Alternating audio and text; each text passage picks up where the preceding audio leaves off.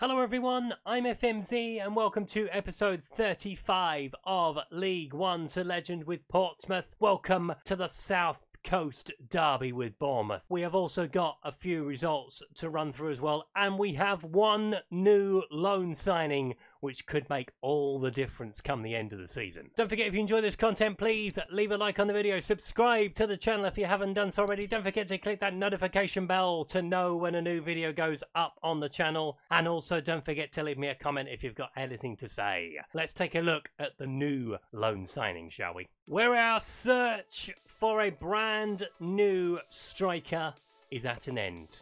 Neal Maupay has joined us on loan from Brighton for the rest of the season. We are paying 11.75k of his wages. That is it. Brighton have done us another massive solid in giving us another player on the cheap. Finishing at 15, pace of 13, acceleration of 14, aggression, bravery, work rate 17 and 16 respectively. 26 goals in 83 appearances for Brighton. He has a very good strike rate. Is he going to take us to the Premier League?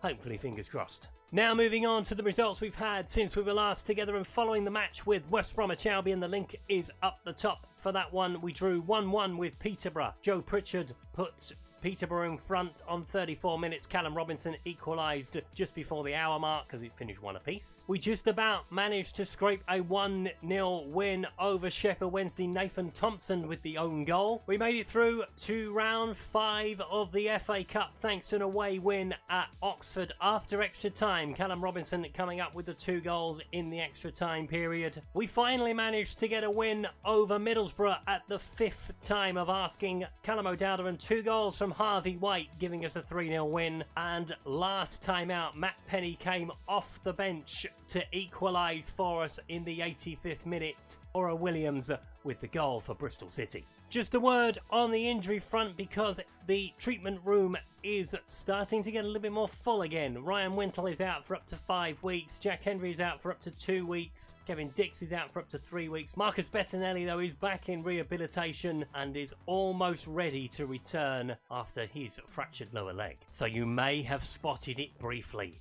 It's Liverpool again in a cup competition in the fifth round again. Can we knock them out of a cup competition for the third straight year? Fingers crossed. We'll see how that goes. Probably in the next episode, actually. I think that's the next thing we're going to target a little cup trip to Anfield. As we are in the championship, it is going very, very well. We are seven points clear with 16 games to play. The gap to third is the most important one now. We are eight points clear of Aston Villa, with Stoke on 54, Bournemouth on 53, Nottingham Forest on 51. So Bournemouth really need a win today themselves to get themselves back in the automatic promotion picture and to secure a playoff place. The Vultures are starting to circle, with Barnsley on 50, QPR on 49, Reading on 47, Oxford on 46, and the gap to Middlesbrough on 42, with Bristol City on 37 to completing the top half. Down at the bottom, where Huddersfield are bottom of the table, nine points from safety now on 21. Sheffield Wednesday have got 26, Peterborough have got 27, then Rotherham have 30, Wycombe, West Ham, and West Brom are all on 31. So they're by no means safe, any of those sides at the moment. Blackburn and Birmingham are on 32, Hull are on 33, 35 for Derby County, 36 for Luton Town. So it's getting interesting down the bottom of the table with a lot of sides still potentially in trouble. At the top, however, we are looking to extend our lead out to 10 points. Obviously, the signing of Neal Maupay could be really, really significant. He goes straight into the starting lineup. Let's take a look at the teams. So here are the two starting lineups for this one. We start with McCarthy in goal, Smith, Watmore, Byrne, Toffolo, Vaulks, Potts, Palmer, Baumgartner, Robinson with Maupay leading the line. Bomber start with Gunn in goal, Mepham, Rieck, Roden, Santon, Quintilla, Cook, Aribo, Swift, Brooks, with Butas leading the line. So a big game this one for both sides. Bournemouth need a win to keep their promotion challenge alive. We need a win to extend our lead at the top of the championship. The gap to third place is the one to focus on now. We are flying. Three wins from five. Bournemouth have got two wins from five. They've had a little bit of a blip, but this is a South Coast derby. Anything can happen on the day. Let's find out what happens in this one. Obviously, the signing of Neal Maupay could be the difference and it could send us to the Premier League. That is the plan, at least. Bournemouth are playing five at the back today, so that'll be interesting. We haven't come up against that very often this season. Toffolo with a throw. He's going to throw it in towards Baumgartner. Toffolo again. Willie trying to find a cross into the centre. We find Potts instead. Potts goes back into Vaulks. Vaulks has got a shot on him. He's got to get one away this time. Find Smith. Smith up against Quintilla. Will he find a cross the front, cross the ball, across the front of the goal? Anything, anybody. Can't get me words out. Brook gets it away. Put my teeth. Hang on. There we go. Toffolo with the corner. Sends it towards the centre. Headed away by Mepham. Picked up by Vaulks though. Will he play it back in? No, he's going around the outside. Watmore? Plays it back into Palmer. Watmore? Got to move about for him, boys. Not to find any space doing that. Smith has it. Plays it into Palmer. Smith again. Vaulks. Back into Palmer. Vaulks sends it into Smith. This is nice build up. Will he find an end product? Maupay with a shot. Not behind for a corner. Got half a yard. Got the shot away. That's what I like to see. McCarthy with the goal kick. Look at all the bodies. Four Bournemouth players surrounding one another. Vaulks gets it away though. Palmer. Is he going to try and find Robinson? He is. He's got loads of space. Will he get a shot away? The angle is tight, but he's managed to squeeze it under the keeper. Portsmouth 1, Bournemouth nil. Cameron Robinson with the goal. What on earth were Bournemouth doing? Look at how many players are in front of the ball. That's criminal. Palmer plays it across to Robinson. I thought he'd mucked it up here. Angle is tight, but he manages to squeeze it through 1 0. That'll do us for starters. Santon coming down the field up against Toffolo. Potts is coming across to help him. Plays it back into Cook. Baumgartner pinches it. And we are away again. Lots of Bournemouth bodies in front of the ball again. And Cook comes back and brings him down. Cynical. Baumgartner's going to take the free kick. Lots of bodies forward. Six of ours.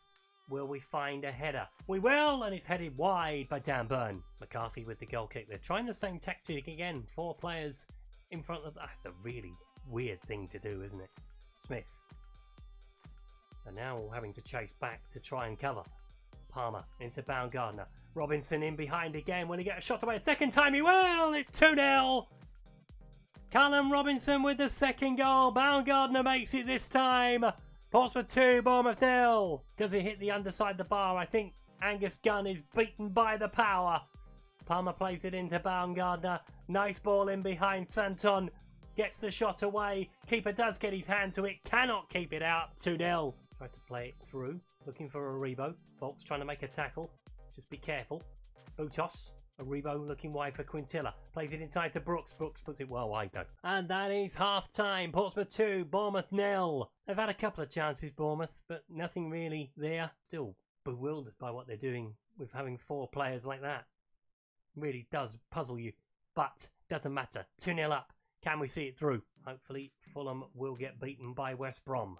That would be really good news. If Aston Villa could lose as well, that'd be even better. Itan has come on for Butes for Bournemouth, making a change up top.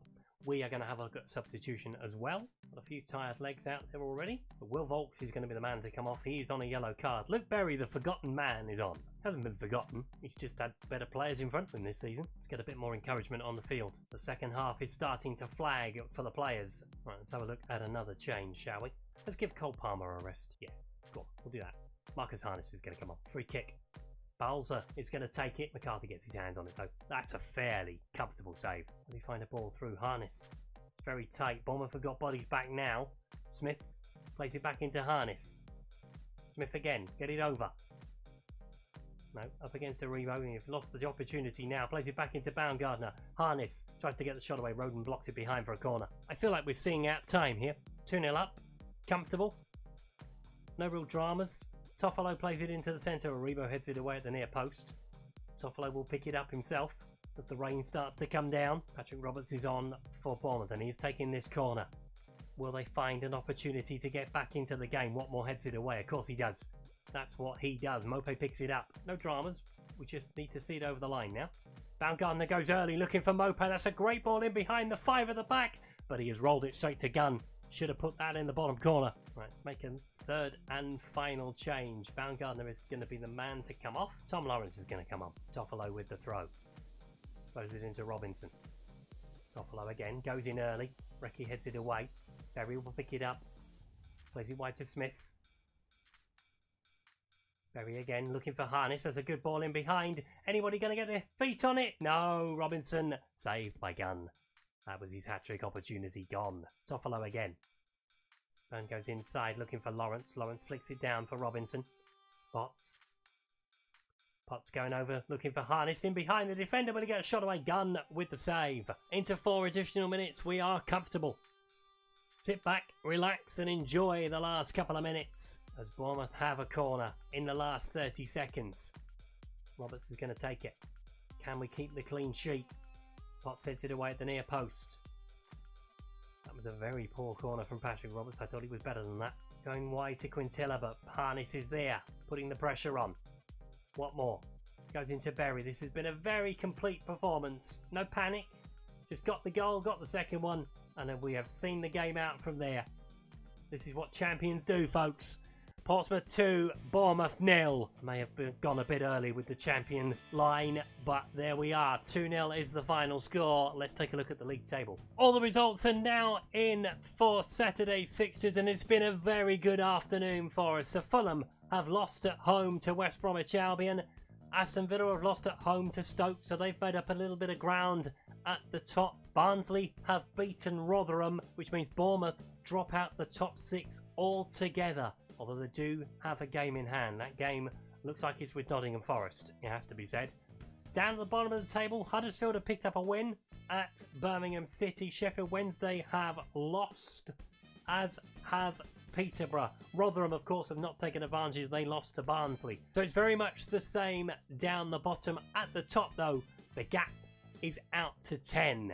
Let's see what's going to happen next time around. So what we will do, we will take on Stoke, we will take on Rotherham, we'll take on Huddersfield, Reading and Derby County to finish off February. We will come back for the trip to Anfield in the fifth round of the FA Cup. We've got to. Can we knock Liverpool out of a cup competition for the third year in a row? We had to do it. We had to come back for that Liverpool game it was a no-brainer. Can we knock them out of a cup competition for the third season running? That would be great if we could do that. Obviously, a great result today for us as well over Bournemouth, getting that lead now to 10 points.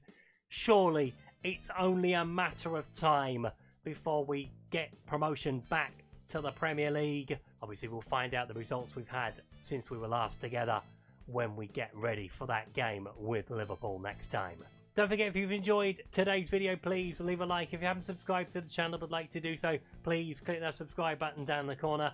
Don't forget, if you've got any comments to make on today's video, please leave them below. Also, don't forget, I'm a member of the Passion for FM team. The link to the website and the Discord server is down in the description. I'm also promoting the charity Mind. If you are suffering with your mental health through this global pandemic, there are links down in the description where hopefully you can find the support that you need. I will see you next time for Liverpool. Until then, thanks for watching. Goodbye.